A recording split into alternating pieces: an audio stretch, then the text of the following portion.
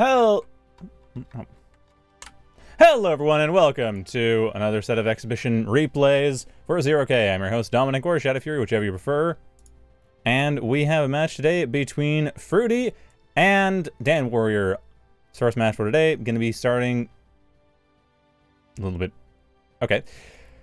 Dan Warrior going for cloaks, and Fruity going for rovers. And should point out, this is a new patch! A brand new patch! Although neither that the player is using the cool new thing the new patch has, which is making it a lot easier to make terraform walls around mexes. Though on a map like this, I can't say I'm surprised. It's actually fairly easy to defend the base mexes.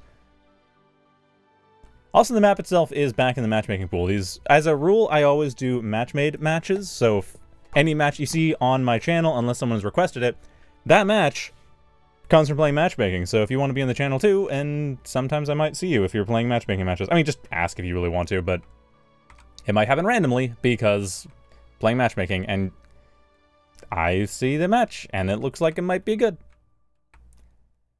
Anyhow, Dan Warrior is being much more aggressive. I mean, at this point, Fruity, they're they have two Masons out already. One of them's going to be caught out. Second one's fine. On the other hand, Dan Warrior has not really expanded much at all, so Fruity do have to worry about this one Mason, though, and do have anything to deal with it? Ugh, no, there's forces on the other side of the map entirely, so this Mason, unfortunately, getting killed out immediately, but then there is the second Mason right by the plus five.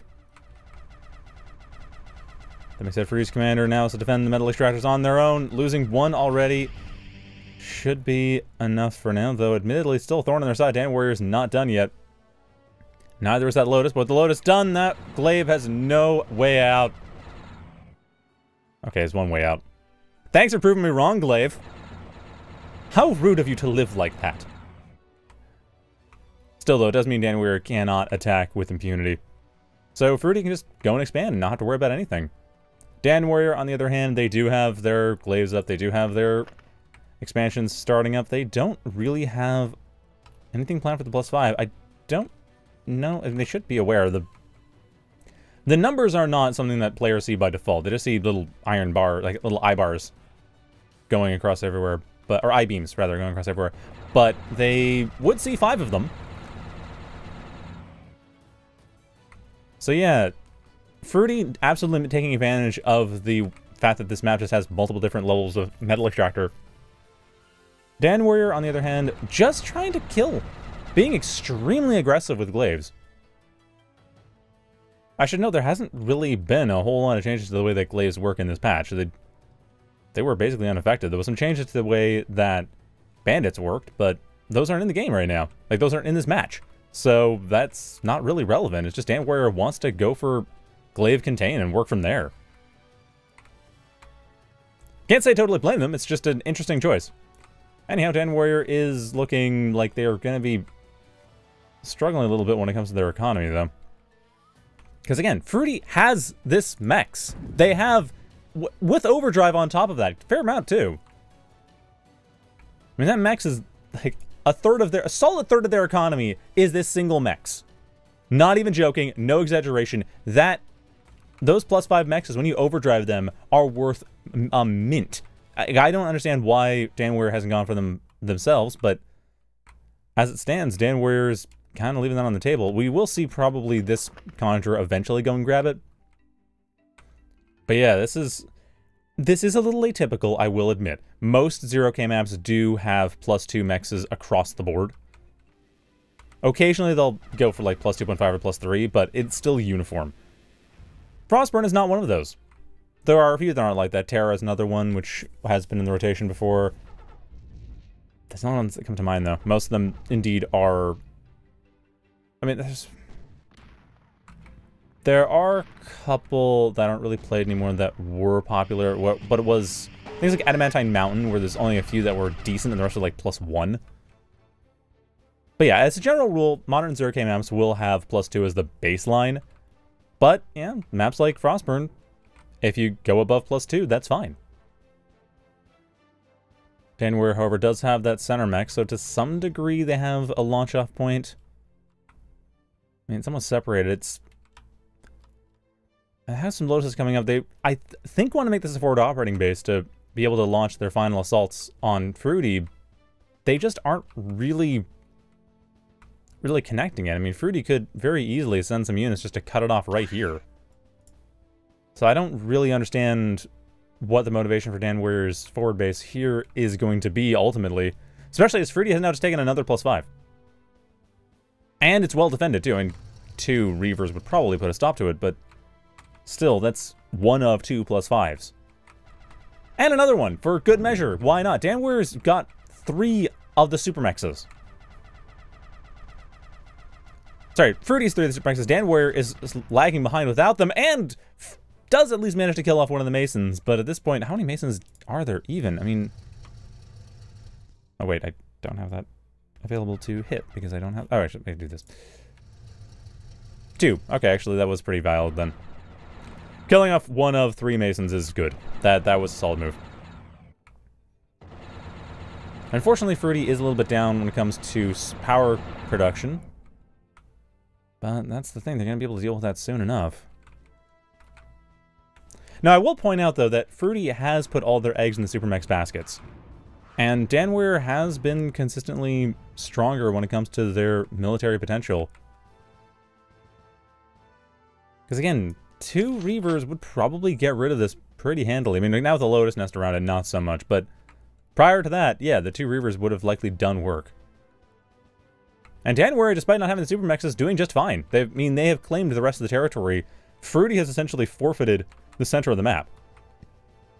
And while the early game, this looked dire for Dan Warrior, now Dan Warrior is actually kind of getting... They're kind of validating their choice of expansion pattern.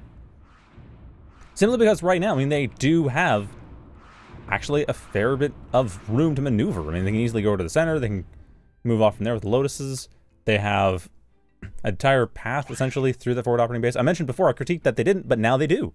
So that criticism, that criticism is no longer really valid. I mean, Dan Warrior is essentially just playing a very risky game of going forward and building out and then working in behind. But, know, that risk is paying off. And they are basically one good raid away from knocking Fruity down. And not to mention Fruity, they are still excessing with that, but it may not be enough. The risk may soon now no longer pay off. Unfortunately, Dan Warrior's forces were just out of position. Fruity doing a fine job of assaulting here.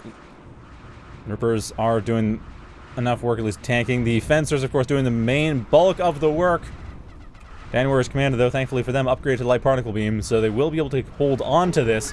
Fruity losing a lot of their forces in the process, though Dan Warrior's commander almost half health, but honestly, its health at bar is half full, as far as I'm concerned. I mean, just look at this. Fruity just sent everything they had at Dan Warrior's front base. Dan Warrior did lose a lot of the buildings. Their commander, however, is still alive. They have a solid defensive force right here, and they just got a Conjurer on top of that to help build and reclaim. Not to mention, 1.3 metal reclaim right in the middle of Dan Warrior's expansion.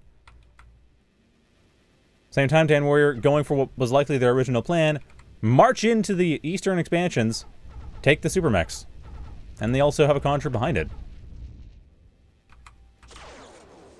So yeah, the center control coming in here, it's...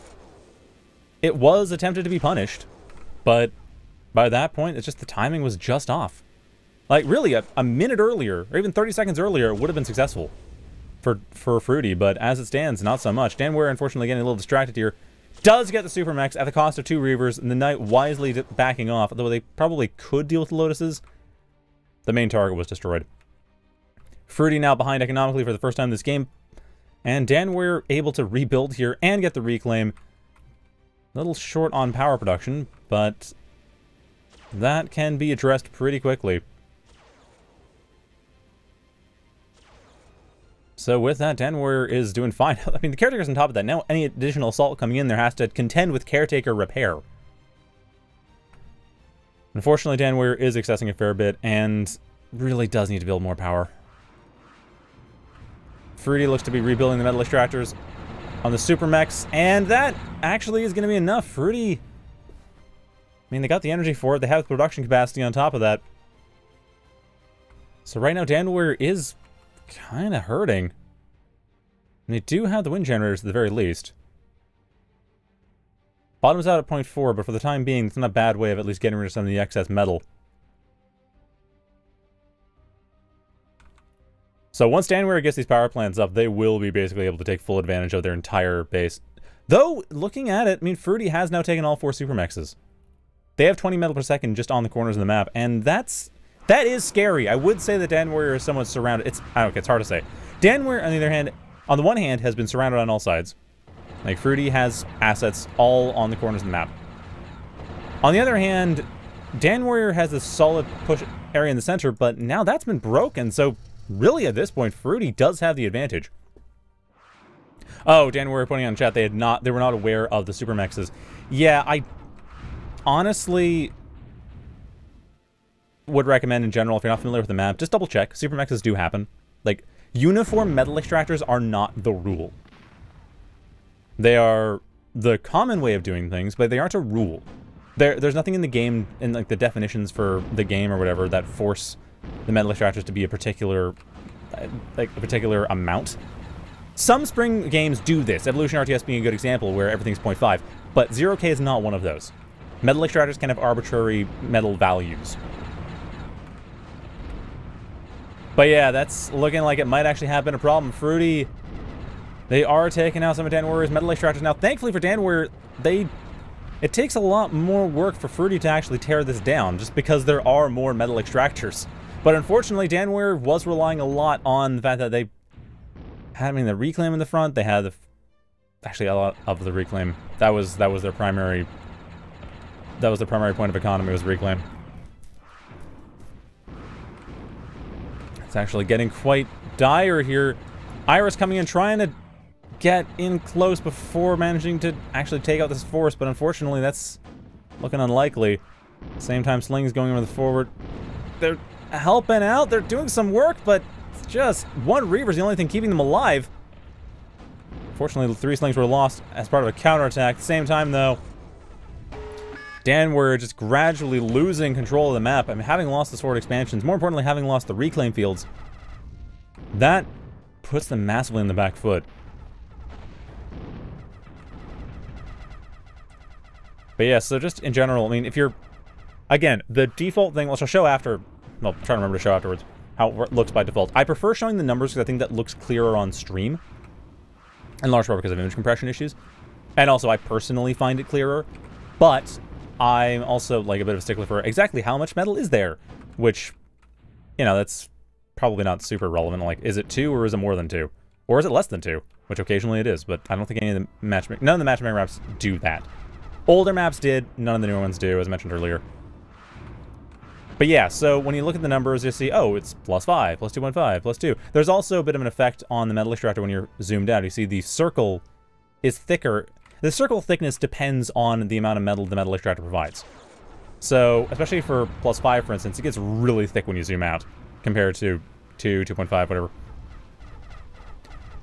Anyway, 2. Point, speaking of the 2.5, that one right next to Fruity's base being taken out. I mean, Fruity at this point, they still have that strong economy because it is on the corners and that is well enough defended that Dan doesn't see the point of going for it. Instead, going straight for the main base. An unorthodox move, but it may work out. Although it's a bit of a suicide mission. Essentially, it's a base trade at this point. Or a base race at this point. Fruity with a Phantom to at least get rid of some of the forces coming in there. Or sorry, Dan with a Phantom to get rid of some of the forces coming in from Fruity. But Fruity... I mean, they're having to deal with the fact that half these forces are cloaked thanks to the Iris. Fencers are going down. The Lotus is trying to help, but they're distracted by the Glaives. Knight coming in there, nicely getting rid of that Iris. Fortunately for them, the the Iris has been killed, but they're close enough. They can take out the caretakers. They probably won't be able to take out the factory before it's all over. But taking out the caretakers is still significant. That massively reduces how much Fruity can do with the economy they have, forcing them into excess. And with the base race being won basically by Danware, they lost two caretakers of their own, but I mean, they are not in as dire a situation when it comes to their economy. Okay, that sounds weird to say. They, they, they actually are in a dire situation when it comes to their economy, the dire situation is that they just don't have enough metal income. And actually also their commander is pretty much doomed. Badger's just hammering at it. Its its days are numbered, unfortunately, unless something comes over to save it, which one glaive could maybe do the trick. You know, one glaive like the one right here, for instance. But it looks like it may still have escaped. Oh no! Why did you attack? No, that's why you have return fire! Or just hold fire! Oh, Dan Warrior's commander surviving from having upgraded the cloak module, but it's still such a close run thing. I mean, one well-placed Badger shot or intelligence Scorcher move, and that's going to be it. But no, Dan Warrior seems to have saved their commander. They've lost the center, though. Fruity basically taking the entirety of the map. So I would say that ultimately worked out. Fruity had surrounded Dan Warrior. It was hard to say, but no, Dan Warrior's center position simply wasn't strong enough to handle being attacked from all sides by Fruity's stronger economy, and now Dan Warrior trying to work with what they have. I mean, trying to get some metal, some caretakers up, use what they have, use the reclaim to rebuild. I mean, thankfully for them, Fruity has to spend about a minute or two just rebuilding all the caretakers that they lost. So Dan Warrior has a little bit of time to work with, but it's not much, and they are still excessing Phantom goes down. Dan Warrior's commander. Pretty much the only thing left to deal with this. And if it gets in a fight, it's dead. And no, Dan Warrior throws in the towel, realizing there's no way of getting back from this. And that is that. I will say, though, Dan Warrior actually did have a chance. Like, when they had the center of the map, they had all these metal extractors. They were on par with Fruity.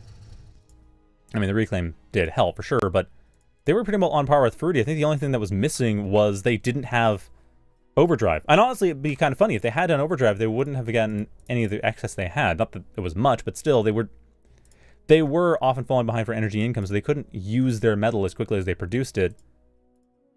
Which means that they basically, they were falling behind, especially near the end, just because they they couldn't build fast enough because they couldn't use the, the resources they had.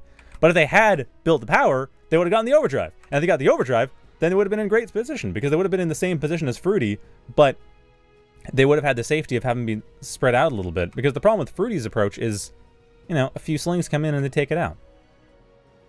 Or a few Reavers come in and, like, unless you spend a massive amount of metal trying to build up Lotus Nests, or Stingers or other powerful defenses, you're going to lose that very quickly. It's a single point of failure. Whereas Dan Warrior's approach, while a little bit harder to set up, could theoretically have been much more solid just because it would have, you know, we would have had to punch through every single one of these metal extractors and the defenses around it, but there weren't very many defenses around them.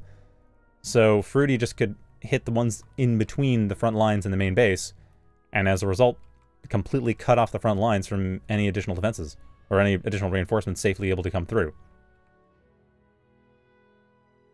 Oh, the, oh, apparently, oh, I should have looked at that. Apparently the radar wasn't spotting the metal extractors, which is odd. Because, yeah, that's weird. I mean, if you look here, this is the metal extractor here, and it's, and that's the rate, no, that's the Lotus. I'm not sure what the radar was for Fruity. But yeah, if you look, if you look at that, it's flat. Oh, unless they had radar in the main base. Hang on. No, that wouldn't have been quite large, long enough. They would have had a radar here, which would have been high. Yeah, that should have been higher. Like, here they've been radar shadow. Like, if you had a radar here, there'd be radar shadow over here, but not over here. Weird. Okay, that's that's bizarre. Something to look into. So yeah, worth noting. Apparently, Dan Warrior had trouble getting the radar to actually show them what was going on on the sides of the map despite the size of the map being lower than the center, and thus not in radar shadow. Good to know. Anyhow, that was that. We'll have another match next up, which is going to be a match. Okay, this is... Apologies if I get the names wrong.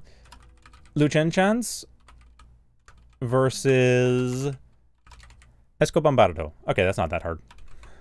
Luchen Chans versus Escobombardo on on Doom Patrol Redux. So yeah, if you like that map, great. If you like hovers, it's a good map. If you don't like hovers, it's probably not the map for you. Anyway, that's going to be that. So we'll be back with... Oh.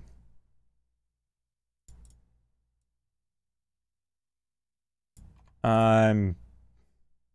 Wow.